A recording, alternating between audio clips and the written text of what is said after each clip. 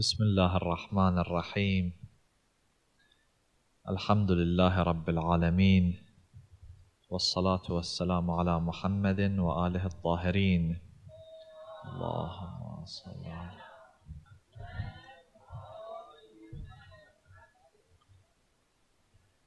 واللعنة على أعدائهم أجمعين إلى قيام يوم الدين.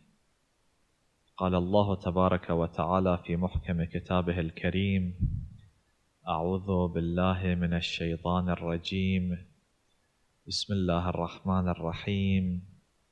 وجعل كلمة الذين كفروا السفلى وكلمة الله هي العليا والله عزيز حكيم. لله عز وجل كلمتان كلمة تكوينية وكلمة تشريعية. الكلمة التكوينية هي الكلمة التي يقول فيها كن فيكون ومعناها سد أبواب العدم مطلقا. يعني تتعلق إرادة الله عز وجل بإيجاد شيء في الخارج في التكوين. كن فيكون هذا سد لأبواب العدم فيوجد الشيء في الخارج. والشيء كما يحتاج إلى علة محدثة يحتاج إلى علة مبقية. الإفاضة الإلهية مستمرة على هذا الشيء لإبقائه خارجا.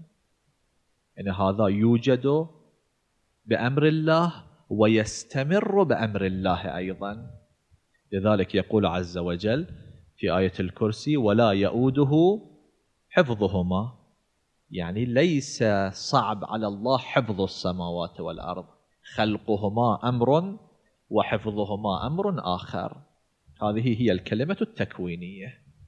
الكلمة التشريعية مثل الكلمة التكوينية أيضا. كن فيكون.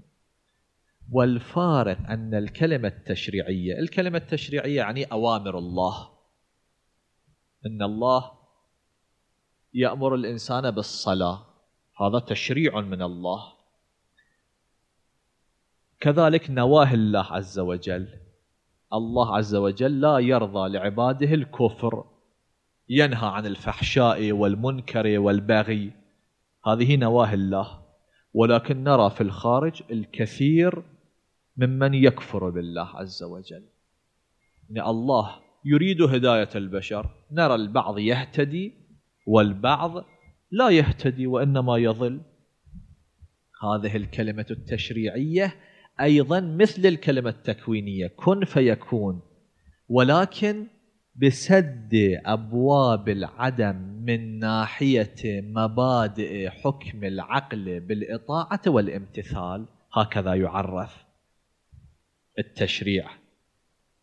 يعني الله يريد إيصال الرسالة بأوامره ونواهيه إلى عقل البشر.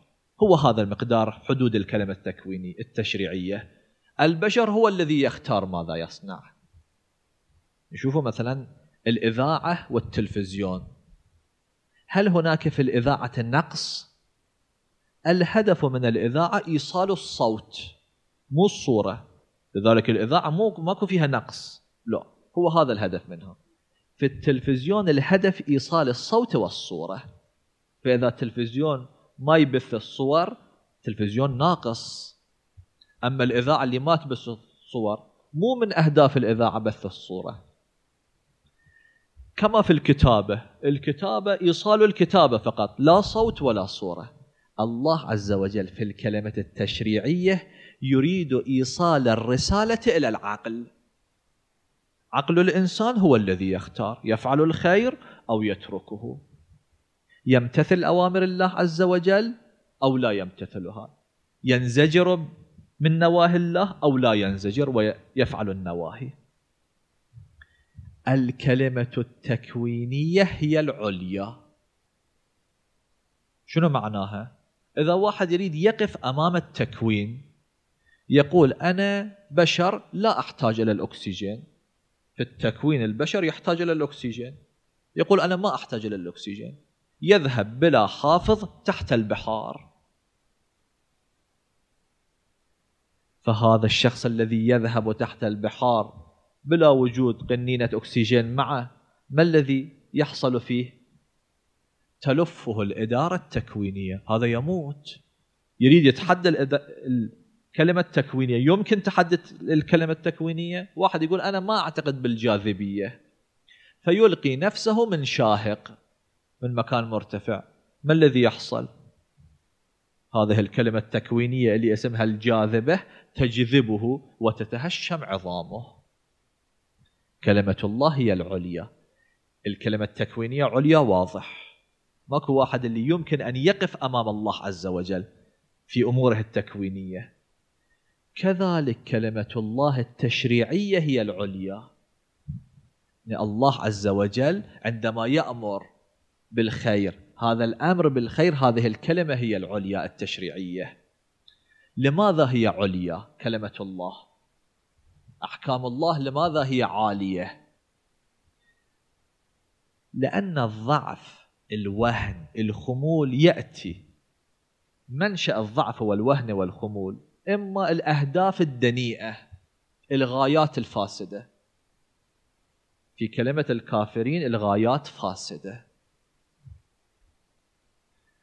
أو الضعف والوهن والخمول يأتي من الوسائل والطرق الباطلة. أو يأتي من القائمين النفعيين الشخصيات الزائفة. في كلمة الذين كفروا الثلاثة تجتمع أهداف باطلة وسائل غير صحيحة والقائمون نفعيون. يفكر في منفعته. معاوية عليه الهاوية ما الذي كان يفكر؟ يفكر في كرسيه. لذلك أكو في الرواية عن الإمام الباقر يقول سلام الله عليه. بعد استشهاد الإمام الحسن فقتلت شيعتنا بكل بلدة. وقطعت الأرجل والأيدي على الظنة. يعني أي واحد اللي يظن أنه من شيعة أمير المؤمنين كان تقطع يده تقطع رجله. لماذا؟ لأن معاوية هم كرسية مو هم أمر آخر. أما نأتي في المقابل إلى أمير المؤمنين يقول هذه الدنيا لا تسوى عندي شيء أصلا. يضحي بكل شيء مقابل هداية الآخرين. فأهداف الذين كفروا سفلى. الطرق والوسائل التي يتبعوها سفلى. القائمون عليها أيضا في الأسفل. يفكرون في مصالحهم لا يفكرون في الناس. أما كلمة الله فمن حيث الأهداف هي عليا. لماذا؟ لأن الله عز وجل هدف بعث الرسالات. هداية البشر. جميع الأنبياء والأوصياء إنما أرادوا هداية الناس مو أكثر ولا أقل. إسعادهم. هذه أسمى الغايات وأسمى الأهداف. يضحي بنفسه في سبيل إحياء القلوب الميتة. الإمام الحسين سلام الله عليه بذل مهجته فيك يعني في الله ليستنقذ عبادك من الجهالة وحيرة الضلالة. ليش هذول يريدون يروحون إلى جهنم؟ يأخذ بأيديهم إلى الجنة الهداية. رسول الله صلى الله عليه وآله مجموعة من الأسراء أخذوهم إلى المدينة في إحدى الحروب فأتى إليهم رسول الله ينظر إليهم وهو مبتسم. أحد الأسراء قال متجرئا أتأسرنا وتبتسم؟ يعني كأنما هاي ابتسامة النشوة الانتصار. قال رسول الله بل تبسمت لأنني أدعوكم إلى السعادة والجنة وأنتم تريدون الفرار إلى الشقاء والنار. رسول الله بعث رحمة. لم يبعث نقمة. أدعوكم إلى الهداية والجنة وأنتم تريدون الفرار إلى الشقاء والنار. هذا رسول الله. لذلك يقول إنما بعثت لأتمم مكارم الأخلاق. في الآية المباركة المهم الهداية. الله يقول وما كنا معذبين حتى نبعث رسولا. لأنه مو شغل أنبياء الله أو شغل الله العذاب. الله خلق البشر لإسعادهم في الدنيا والآخرة. المشكلة هم البشر انحرفوا عن طريقة الله. فخسروا في الدنيا قبل الآخرة.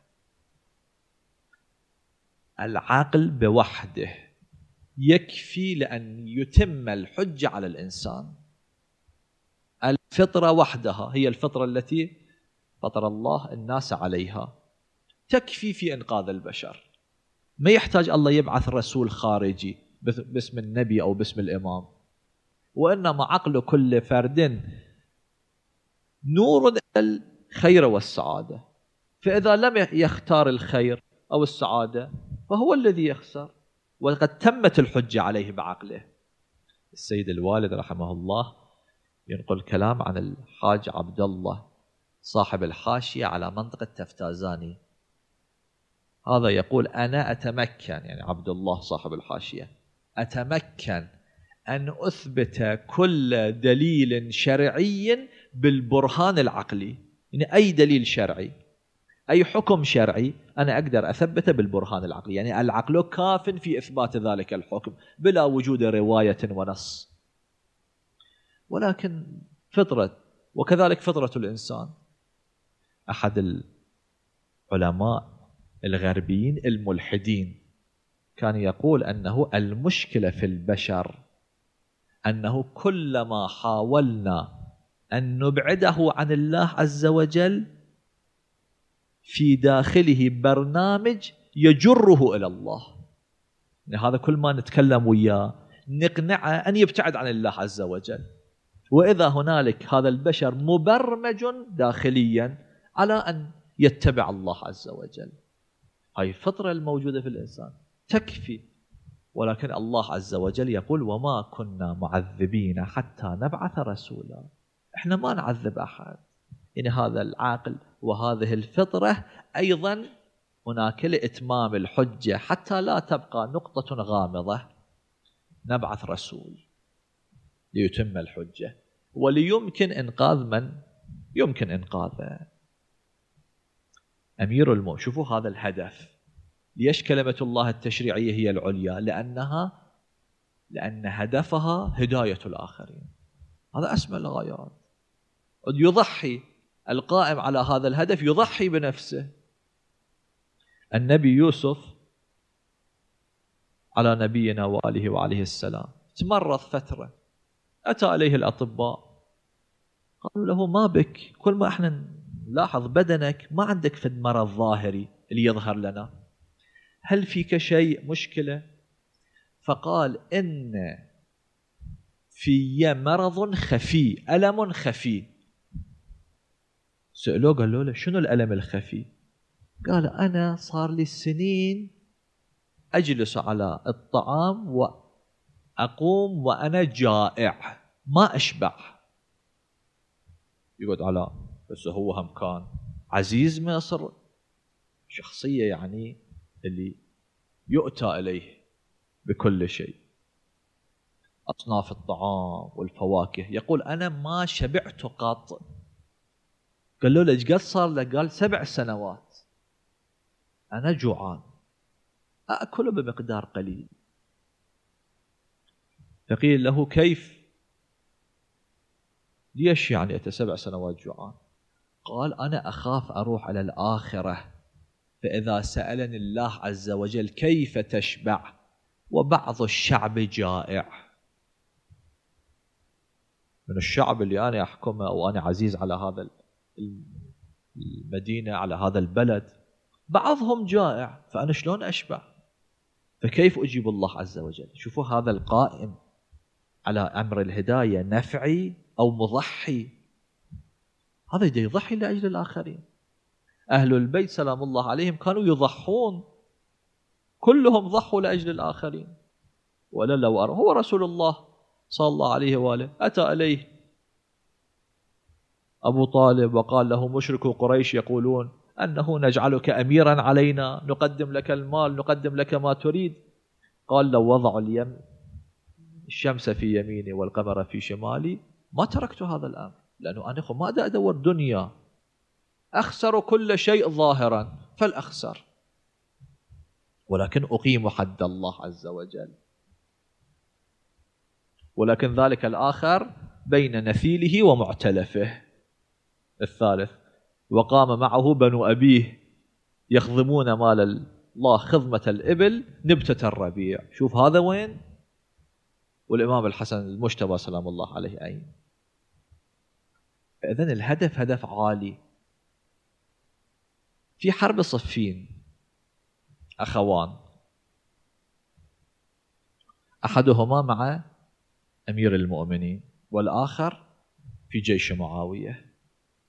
برزا وعلى كل واحد خوذة على رأسه يعني الملامح مو ظاهرة. فهذا اللي كان تحاربه اللي كان مع أمير المؤمنين صرعه وجلس على صدره رفع خوذته وأراد أن يقتله.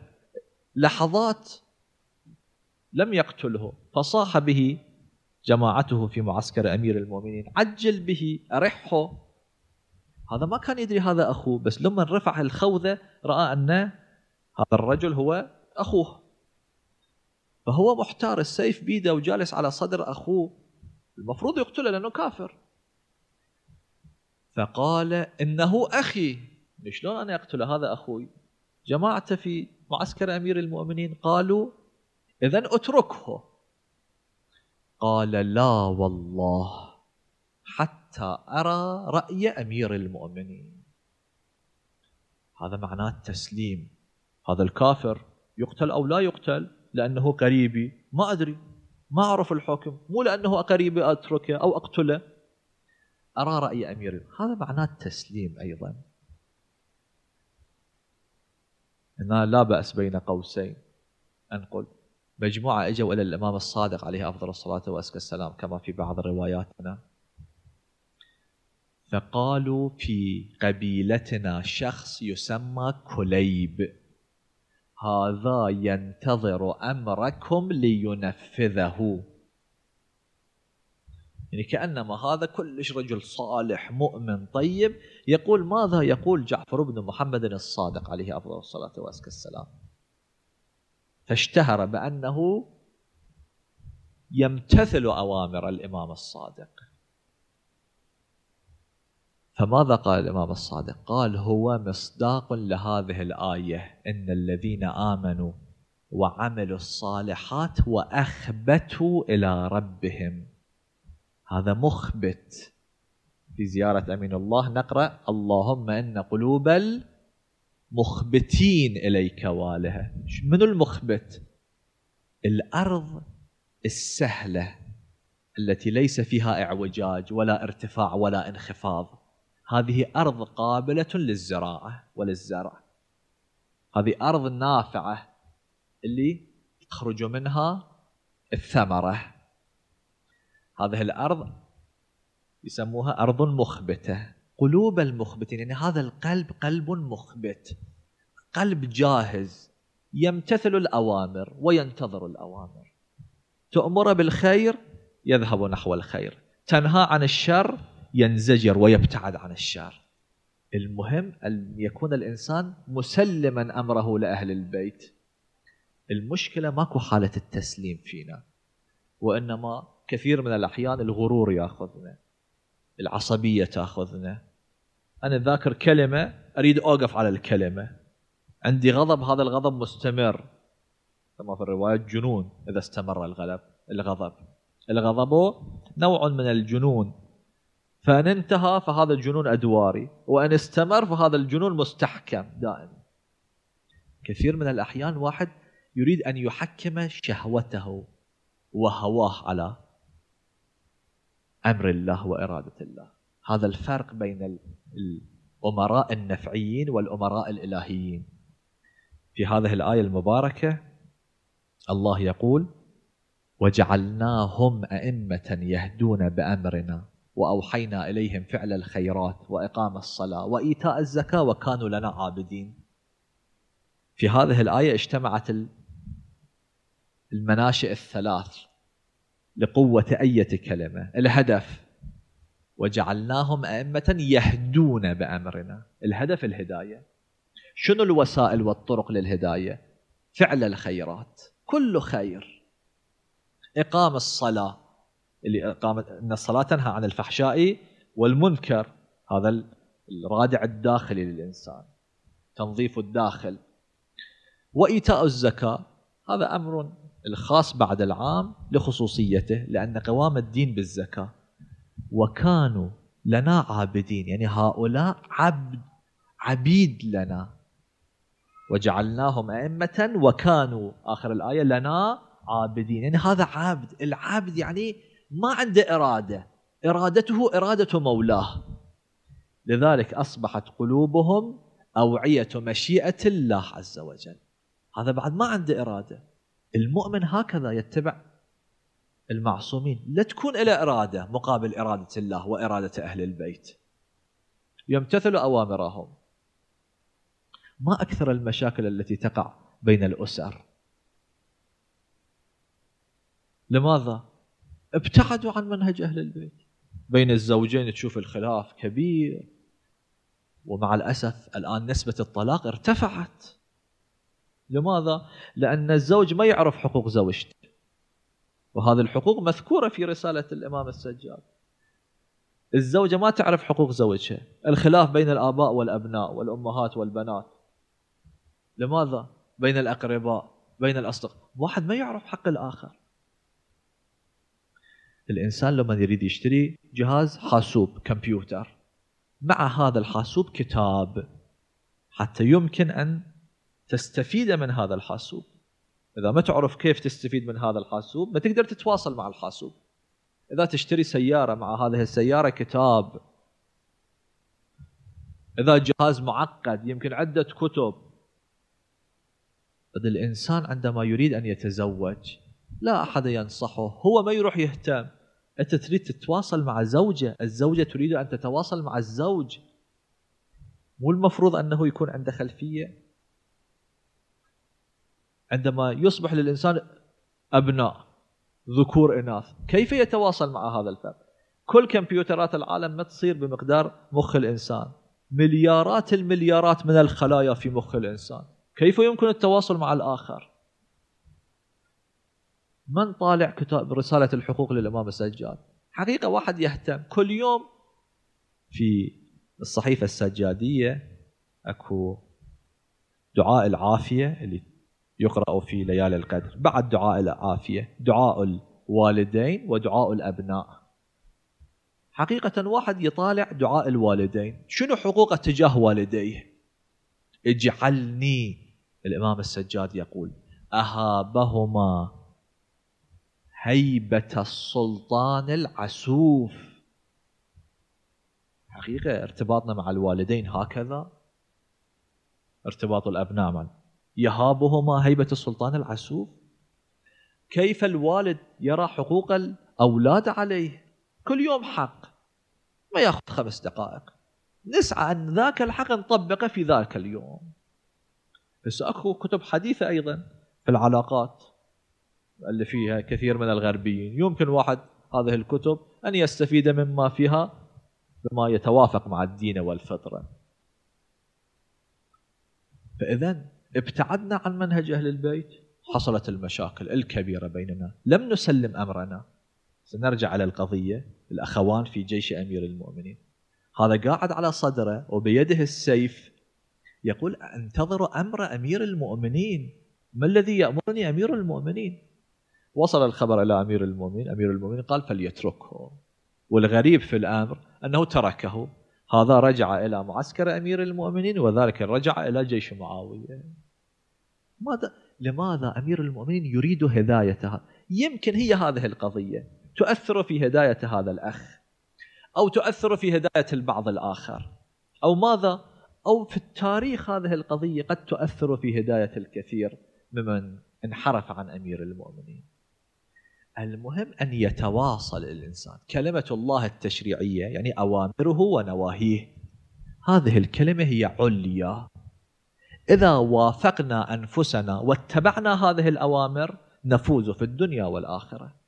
إذا ابتعدنا عن الأوامر وفعلنا النواهي والمحرمات نخسر في الدنيا والآخرة. كما واحد اللي ما يقبل الكلمة التكوينية يقول أنا ما أقبل الجاذبية. ما الذي يحصل إذا ألقى نفسه من شاهق خلاص ينتهي. هناك أمر واضح وبين. هنا أيضا في الكلمة التشريعية أيضا الأمر بين. حقيقة يعود الإنسان إلى نفسه. لماذا هكذا أصبح المسلمون؟ في أشد ضعف وخمول ووهن الحروب فيما بين أنفسهم. المشاكل الاستعمار الغربي والتكفيريون. والمشاكل داخل الخط الشيعي نفسه. لماذا هذه المشاكل؟ هي هذه الله عز وجل يقول ولا تنازعوا فتفشلوا وتذهب ريحكم. أسأل الله عز وجل أن يوفقنا لأن نمتثل أوامر الله عز وجل وننتهي عن نواهيه إن شاء الله. إن شاء الله زيارتكم للسيدة معصومة سلام الله عليها وللإمام الرضا. إن شاء الله تكون زيارة مقبولة إن شاء الله أدعيتكم مستجابة وترجعون إلى بلدكم بحوائج مقضية ذنوب مغفورة ببركة الصلاة على محمد وآل محمد.